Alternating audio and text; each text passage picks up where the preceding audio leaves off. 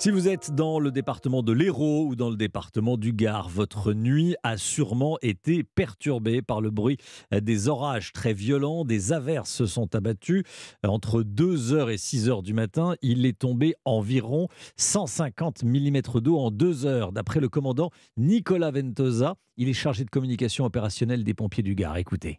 On a dû intervenir pour des mises en sécurité, une quinzaine de mises en sécurité sur des automobilistes et des piétons qui se sont retrouvés un peu euh, pris de court par la montée des eaux. Après, on a été sollicité également sur euh, des, protections de biens, c'est-à-dire que les personnes voient les eaux monter chez eux, s'inquiètent et nous sollicitent pour intervenir. La montée des eaux a été effective. On ne déplore pas de victimes, seulement trois blessés très légers liés à un effondrement d'un plafond dans une habitation.